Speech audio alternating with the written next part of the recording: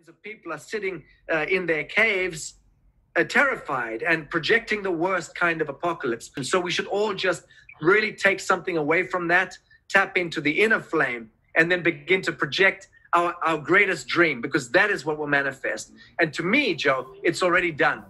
This is already over. This dark chapter is already over. There is no forced vaccination program. There is no digitization of humanity. There is no uh, self replicating diodes growing inside our body because of all of the chemicals and the 5G signal.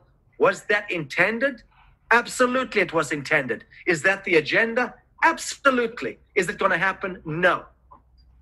Okay, uh, you are quite positive, and I'm also, but there then is coming the doubts: how many people are we? How many are awakening? And is it enough? And you know, but I believe that one person who is awake and aware and conscious outweighs a thousand people who are just sheeple. You know, people who are following what they're being told. Um, and then it's a whole different thing because if you say, okay, a thousand people there, uh, hundred people who are awake, um, they win. Um, that's not happening. I see actually that the, the, the, aware people and and I'm here and you are here for this time. I said before, and I, it's so exciting to be at this time here. But you know the doubts are coming, and but you you are positive that uh, we will win the good fight. Joe, Joe, I'll go even further. We've already won, my dear friend. It's over. The battle is already. The war is over. Uh, a few little battles here and there, but they're personal battles that need to be fought. These are just the the clearing up. This is the detox. In the same way that this mass outbreak of a a uh, engineered pandemic is uh, an, an excretion event happening at the planetary level, at the cellular system. There is a detox happening because of the threshold of toxification that has occurred mostly to do with the radiation frequencies. But the fact of the matter is, a bioweapon was definitely dropped in Wuhan, China, in Qom, Iran, in United States, and in Milan, Italy. That triggered and catalyzed a pandemic alert in the bureaucratic machinery of the multilateral governance superstructure from the United Nations to 200 health ministries to 20,000 uh, uh, general hospitals uh, to 200 million operatives at the health administration level. It's the way the dominoes falls from that centralized command and control, which is why it is so dangerous to have a United Nations central control, World Health Organization, World Trade Organization.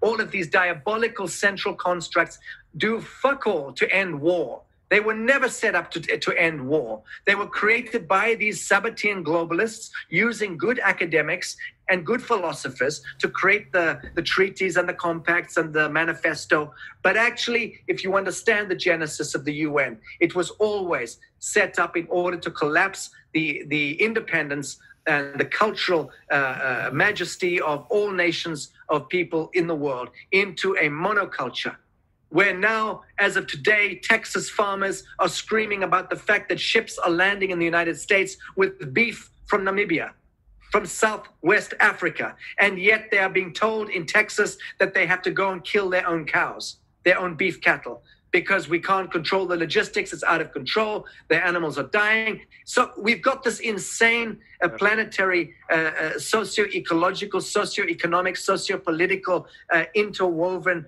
Um, dream spell, which is not serving the living, it's only serving the fiction, the dead. But each one of us permissioned it. And everybody who pays a tax dollar is still permissioning it. And everyone who stays indoors when they're being told to by their fascist Nazi government, who is acting completely out of law, they are also permissioning it by not challenging, by not confronting, this petty tyranny coming at you from your local police, your local town hall, your local municipality.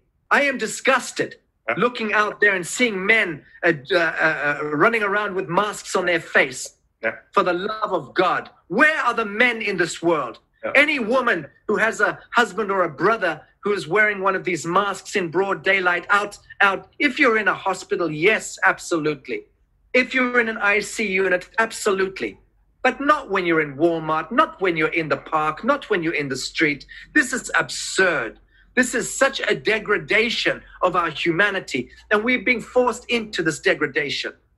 We're being forced into a humiliation at the meta soul level. And I am disgusted at my brothers for not being men and standing up to this bullshit uh, poisoning of the uh, heart and the mind of humanity.